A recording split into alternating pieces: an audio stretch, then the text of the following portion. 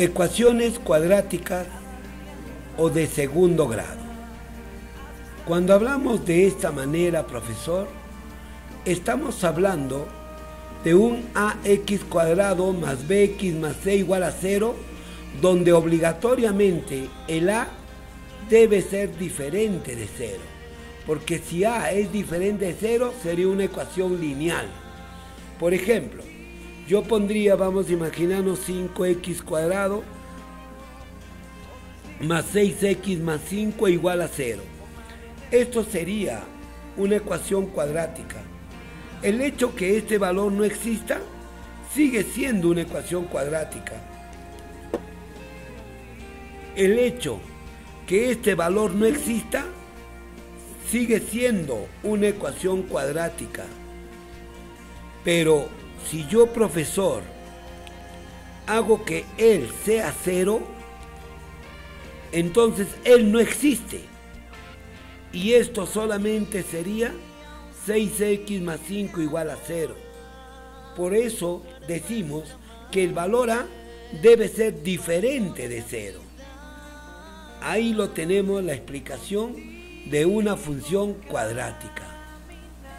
Ahora, tenemos la primera característica, cuando el valor puede ser directamente, profesor, de la forma ax cuadrado más bx. ¿Eso qué significa acá? Que el valor, profesor, podría darse, por ejemplo, de la siguiente manera. A ver, lo tomamos y diríamos, por ejemplo, acá yo puedo poner un 2x cuadrado menos 8 igual a 0. Si eso estoy viéndolo como 2x cuadrado menos 8 igual a 0, yo agarro, tomo este valor y diría que 2x cuadrado es igual a 8 simplifico mitad 1, mitad 4 y x cuadrado será igual a 4. ¿Qué significa esto? Que x saldría más menos la raíz de 4. ¿Esto que me da? La idea principal, que profesor acá, x puede tomar con más 2 y x puede tomar con menos 2. Ahí está el principio de este problema que cuando tenemos una cuadrática va a salir dos valores. Eso debemos entenderlo. O tenemos un segundo caso, cuando tengo directamente esa expresión. Y puedo darlo como un ejemplo de decir, profesor, 4x cuadrado más 12x igual a 0. Entonces, en este caso, yo estaría diciendo lo siguiente. Aquí puedo factorizar el 4 desde un inicio. 4x cuadrado más 3x igual a 0. Él pasa a dividir x cuadrado más 3x igual a 0. Factorizo el x y queda x más 3 igual a 0. ¿Qué significa ese análisis? Que este valor x y este valor profesor x más 3 pueden igualarse a 0. De tal manera que esta igualación hace que x tenga dos valores, 0 y x menos 3. ¿Ve? También tiene dos valores. Es decir, cuando no tenemos a x, sale el mismo valor numérico como más y menos. Pero si no tenemos al valor independiente, estamos dando dos valores diferentes. En esa manera estamos tratando de ver cómo es una ecuación cuadrática en la forma solo de dos cifras. Ahora, profesor, veamos lo siguiente. Veamos ahora justo de esta forma, la forma principal que lo tenemos. Podemos decir, profesor, acá que la ecuación que tendríamos ahora dependerá de este criterio. Ahí lo tenemos. Que la aplicación que le vamos a dar ahora va a ser que el x, que el x valor será un x sub 0 igual a menos b más menos raíz cuadrada de b cuadrado menos 4ac todo sobre 2a. Esto tenemos que entenderlo para todo problema que necesitamos en función a una cuadrática que se tenga la forma ax cuadrado más bx más c igual a cero. Entonces, profesor, podemos generar un problema sobre este aspecto. Puedo tener, por ejemplo, 5 5 x cuadrado más 13x menos 6 igual a 0. Ahí tengo. Y tengo esa cualidad. Entonces, yo puedo decir entonces que el x, el x sub 0 acá, ya, el x sub 0 es igual.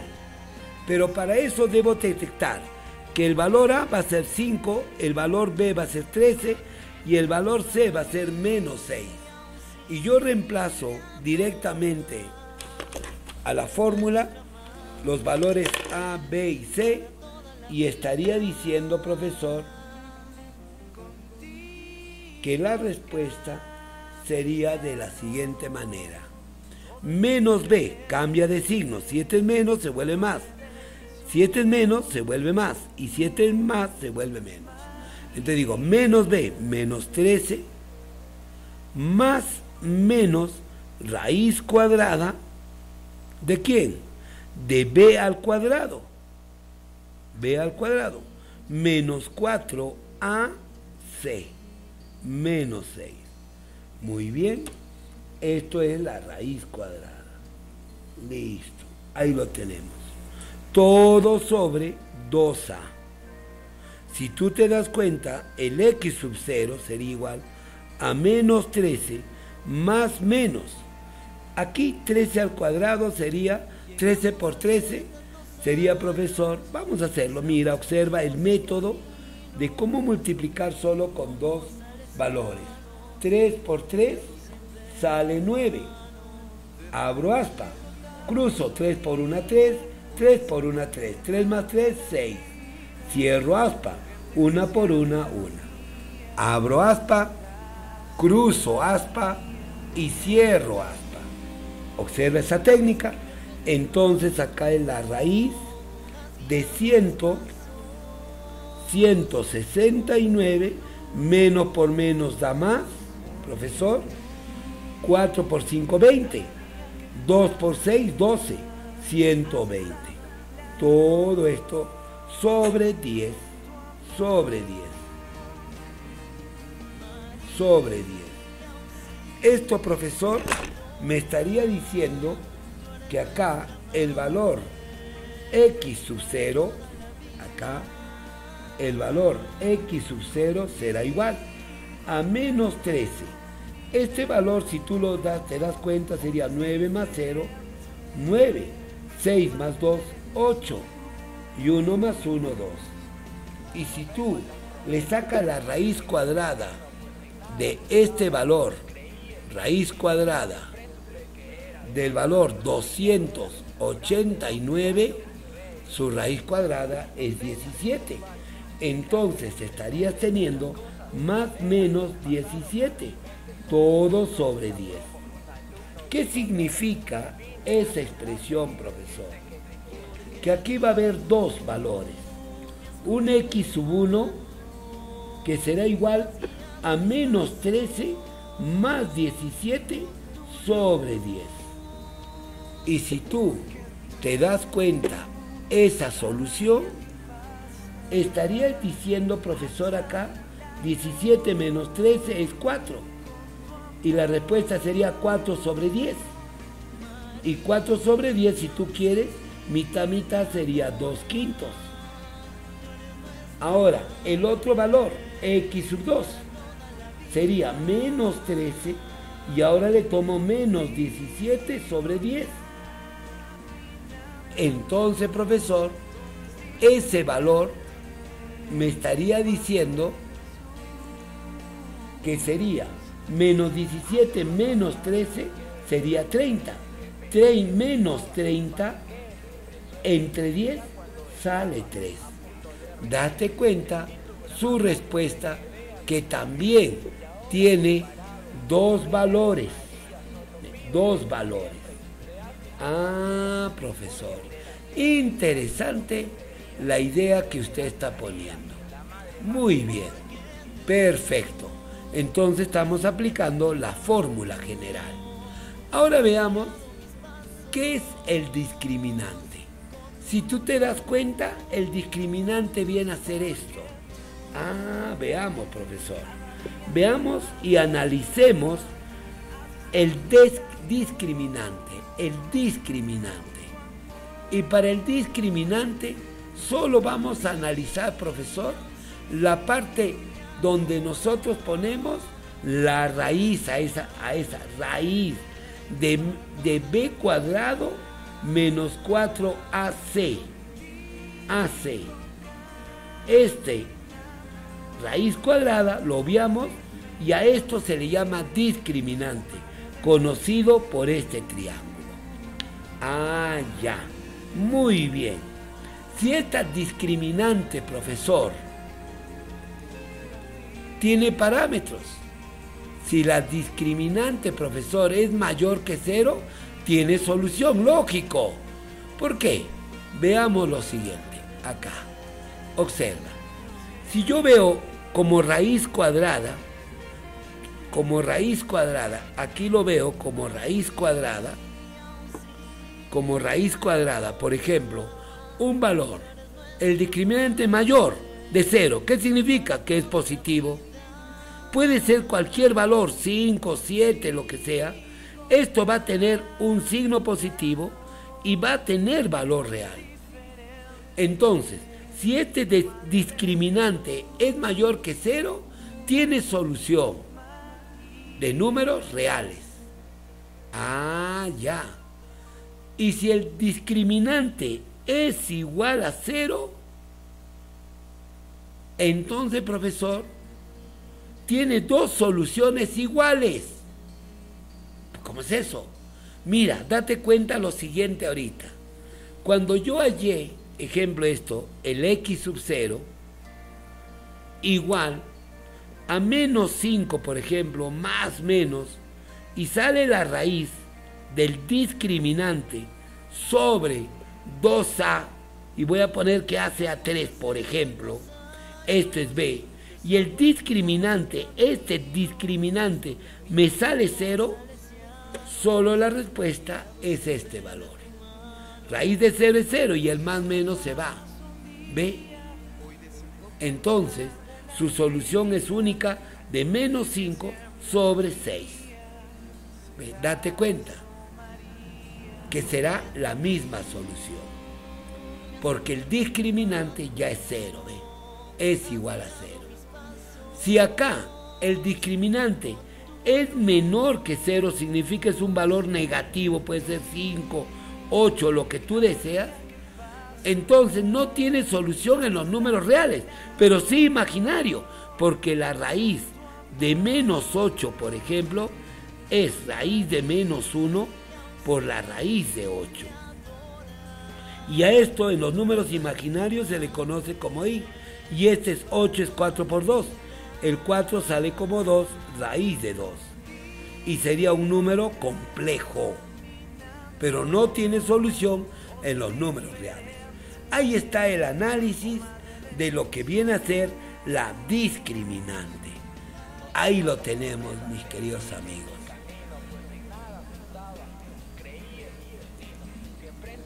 Ahora entendamos algunas propiedades sobre el tema. Tengo, profesor, esta ecuación. Observen la ecuación. Y ahora decimos, hay una propiedad. Dice, nos dice lo siguiente. Si yo directamente acá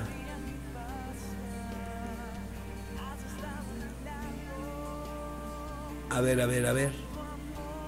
Quiero saber el producto, el producto, profesor, de los dos valores acá, de, lo, de las raíces de las ecuaciones. Quiero el producto entonces yo tendría que el valor de modo práctico solamente es C sobre A, nada más, C sobre A. Pero si yo quiero la suma de ellos, entonces yo tengo que darme cuenta que su suma viene a ser también en función a decir menos B sobre A.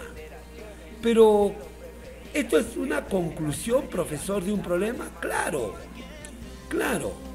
Mira, si yo saco el valor solo con la ecuación, observemos aquí lo siguiente. Ya, tengo esta ecuación. Listo, tengo esta ecuación. A ver, tengo esta ecuación y quiero resaltar esto un poco. Observa. Y lo voy a reemplazar esto mismo. Y voy a hallar la suma de los dos para que te des cuenta que ahí mismo sale. Yo sé acá, profesor, que el x sub 0 es igual a menos b más menos raíz cuadrada de b cuadrado. Y vamos a ponerle la palabra discriminante. Ya está, así. Sobre 2a. Listo. ¿Qué significa? Que el x sub 1, profesor, el x sub 1, este x sub 1 y este x sub 2 tendrían el siguiente criterio. El x sub 1 puede ser menos b más el discriminante sobre 2a. Y el x sub 2 que es la raíz también de la solución, el x sub 2 sería menos b, pero acá tomé más, acá lo tomo menos, de la raíz del discriminante sobre 2. Y si estos dos voy a sumarlo, perfecto, lo sumo. Y date cuenta que tengo, profesor, el mismo denominador. Por lo tanto sería menos b menos b, sería menos 2b más la raíz del discriminante menos la raíz del discriminante se anulan, se anulan porque se están restando y quedaría sobre 2A. 2 y 2 se va y sería menos B sobre A. Y eso es lo que me dice la fórmula. Me dice que esta suma de sus raíces, que son las respuestas de una cuadrática, es menos B sobre A demostrado, profesor, la primera ecuación que tenemos acá. Ahí está. Entonces, para no estar resolviendo problemas, recuerda que la suma de las raíces es igual a menos b sobre a, de modo directo. Muy bien, profesor. Interesante el análisis que has hecho. Ahora veamos el otro. ¿Qué sucedería ahora acá? El producto dice es C sobre A. Bacán, bacán. Vamos a ver el producto ahora, profesor. Lo tengo, la general, y yo agarro y digo, ahora quiero multiplicar x1, pero x1, profesor, viene a ser ¿qué?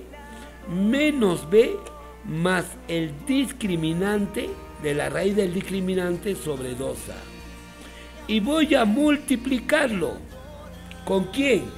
Con el otro x sub 2. Y este x sub 2, profesor, viene a ser directamente el mismo, menos b, pero ahora esto, tomé más. Ahora tomo menos del discriminante sobre 2a. Ahí lo tenemos. Profesor, aquí los denominadores 2 por 2, 4 y sería 4a cuadrado. Ahí no hay problema. En una multiplicación los numeradores se multiplican y los denominadores entre sí se multiplican.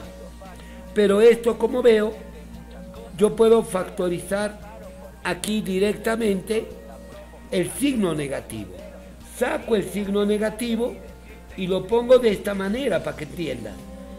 Raíz del discriminante más b y acá lo cambio. El discriminante menos b. Y a esto se llama diferencia de cuadrados. Diferencia de cuadrados. Entonces, profesor, esa diferencia de cuadrados, voy a hacerlo en esta partecita, sería el discriminante al cuadrado menos b al cuadrado. Todo sobre 4a cuadrado. Aquí se va esto. Y me queda solo el discriminante. ¿Quién es el discriminante, profesor? Es reemplazando b cuadrado menos 4ac menos b cuadrado que lo voy a agregar sobre 4a cuadrado. Profesor, mire, mire, mire, mire. Se simplifica, se anulan, no se simplifica, se anula y me queda solo el valor menos 4ac sobre 4a cuadrado. ¿Ve? Pero un ratito. Claro, claro, claro, claro, profesor. Entonces, pero acá tengo un menos. Ah, toda esta operación era menos. Toda esta operación era menos. Y menos por menos sale más. Ven, aquí teníamos un menos, un menos. Y toda esta operación salía negativo. Y menos por menos sale más. Entonces, profesor, acá esto solo era igual a él. Y acá digo 4 y 4 se va. Un simplifico A y el cuadrado. ¿Qué me quedó entonces? C sobre A. Ahí está, mi querido amigo, la relación que hicimos. Observa, mira cómo lo hemos efectuado. Voy a hacerlo de nuevo esta partecita porque creo que no ha quedado muy claro este análisis de C sobre A. Teníamos negativo en la parte de afuera. Voy a ponerlo, negativo. El raíz y potencia se simplifica y el discriminante, ¿sabes que es igual? A B cuadrado menos 4AC. Menos B cuadrado que estoy copiando sobre 4A cuadrado. Listo, date cuenta ahora eso. Profesor, estos dos se anulan. Y me queda menos por menos, queda más. Y queda 4AC, todo sobre 4A cuadrado. Se simplifica el 4. Se simplifica el A con el cuadrado. Y me queda C sobre A. Es decir, X sub 1 por X sub 2 es igual a C sobre A. Entonces tienes que aprenderte de memoria que el producto de las raíces es igual a C sobre A para la aplicación práctica de dicha fórmula. Tu amigo, el ingeniero Dino Sánchez Padilla, para servirle a usted.